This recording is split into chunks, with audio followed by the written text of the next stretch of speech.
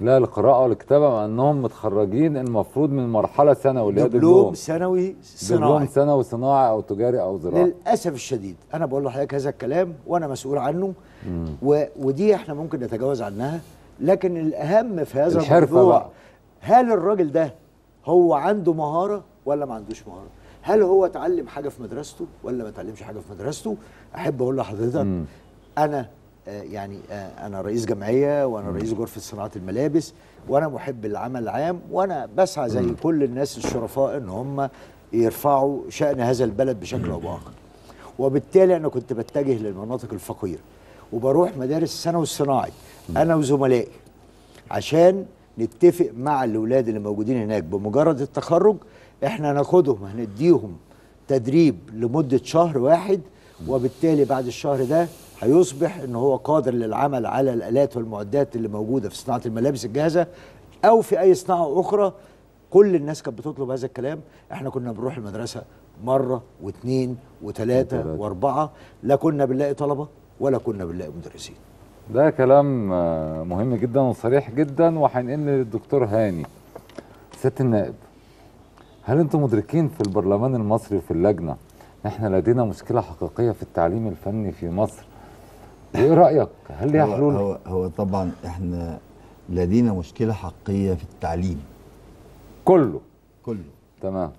وأحد المخرجات بتاعه التعليم الأساسي لأن هي بتغذي التعليم الفني. طبعا. وللأسف التعليم الفني نظرا للنظرة السيئة المجتمعية. مم. لخريج التعليم الفني. يعني اللي معاه دبلوم صناعي لو جال بنتك هترضى هترضى تديها له؟ لا ودي عايزين نقضي عليها مستقبل مم. ف فالنهارده النظرة المجتمعية دي بتخلي كل طلبة آه، آه، آه، الاعدادي والأسر كلها عايزة تدخل اولادها على التعليم العام ويخش جامعة ويمشي مم. دي أول نقطة حتى لو خد شهادة ملهاش فاحنا. بنعالجها مم. إحنا هنعمل لها معالجة بحيث نفتح السكة قدام التعليم الفني بحيث إنه يكمل. آه، التعليم التكنولوجي بقى. آه طبعا. وده اللي بنفتقده في مصر. آه، فبيأتي التعليم الفني أسوأ ما عندنا. إحنا لسه بنقول الذي لا يقرأ ولا يكتب يكتب وفي الآخر بديله شهادة إتمام المرحلة الثانوية للتعليم الفني الصناعي أو التجاري أو الزراعي. وإحنا كلنا. في سوق العمل كل في تخصصه بيجي لنا آه، الدبلومات ونقول له خد اعمل الحاجة الفلانية بنلاقيه لا يقرأ. مم. كما يجب ولا يكتب كما يجب ومأساة.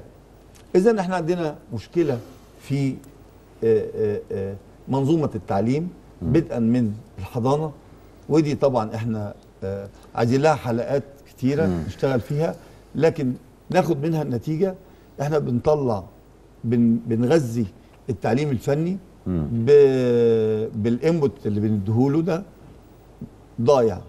فبنظلم التعليم الفني. تمام؟ يعني مبدئيا ال- ال- المدخل بتاعك سيء جدا.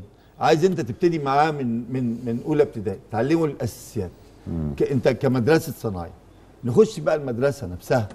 آه. مدرسة الصنايع هنشوف هي كانت إيه وبقت إيه. دلوقتي وإحنا عايزين نروح بيها لغاية فين؟ تمام. وبيتعمل حاجة اسمها ال gap analysis زي كده ما بتمسك البوصلة تحدد مكانك وأنت عايز تروح فين فبتظبط البوصلة بقى على الموقع اللي أنت عايز تروحه وبتحدد نقاط إيه؟ آآ آآ مم. أرضية كده علشان آه، بتحط خطة طويلة المدى محددة أهداف. الأهداف ومحددة وق- وإيه؟ و و و وهي تستطيع قياسها يعني الخطة مش خطة وخلاص وتديها لأ. ممكن كل آه، مثلا شهر ولا ست شهور تقيس الخطة ولها مؤشرات أداء وممكن تعدلها وتصلحها. يعني إيه؟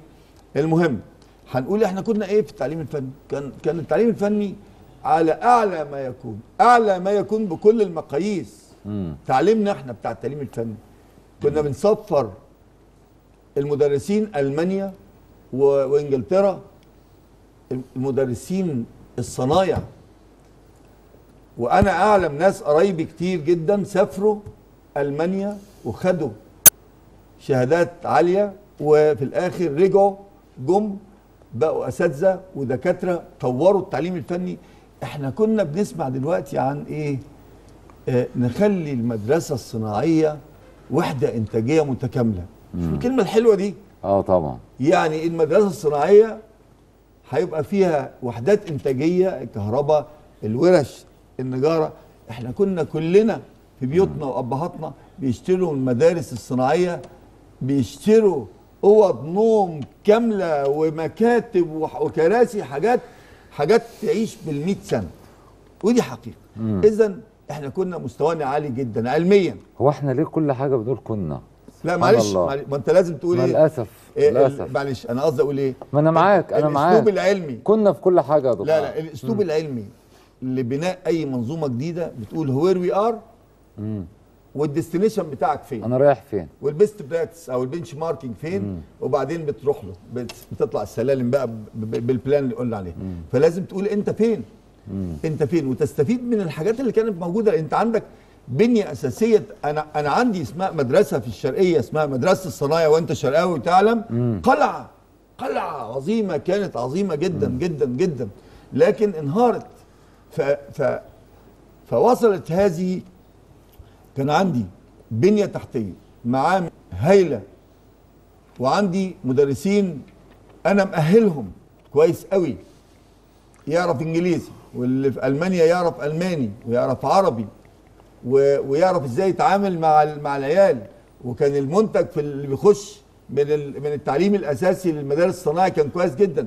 ف وبعدين هو عارف في المدارس في منهج محدد وفي عملي كان العملي على أعلى مستوى ده اللي افتقدناه.